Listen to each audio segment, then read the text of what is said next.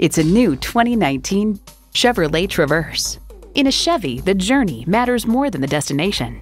Features include automatic transmission, heated and ventilated leather bucket seats, streaming audio, streaming video feed rear view mirror, dual zone climate control, power heated mirrors, external memory control, power sliding and tilting sunroof, auto dimming mirrors, and V6 engine. Hurry in today for a test drive.